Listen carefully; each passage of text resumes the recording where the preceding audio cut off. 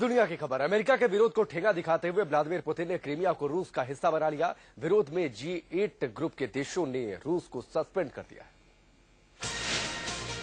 Crimea और रूस के नेताओं के बीच हुए इसी समझौते के साथ रूस ने क्रीमिया को अपना हिस्सा बनाने की घोषणा कर दी। पुलिस ने यूरोप के देशों के विरोध को दरकिनार करते हुए कदम उठाया। व्लादिमीर पुतिन ने संसद में कहा कि क्रीमिया हमेशा रूस का हिस्सा था। और एक ऐतिहासिक गलती को ठीक कर दिया गया है। इस मामले पर रूस ने अपनी स्थिति साफ़ करने के लिए प्रधानमंत्री मनमोहन सिंह से फ़ोन पर बातचीत भी की।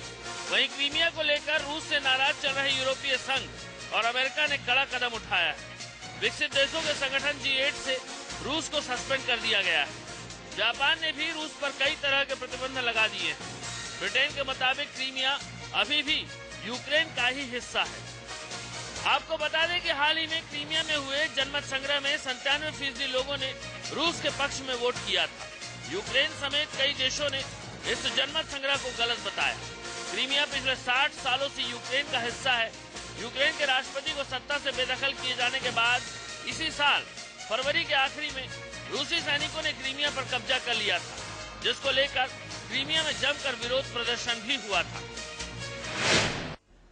तो जागो इंडिया के इस बुलेटिन में फ़िलहाल इतना ही। कल सुबह सात बजे एक बार फिर आपसे मुलाकात होगी। जागो इंडिया के इसी सफ़र में उन तमाम खबरों को लेकर, जिनका सीधा सरोकार रहता है आपसे फ़िलहाल रुकेंगे ब्रेक के लिए। ब्रेक के बाद भी खबरों का सिलसिला जारी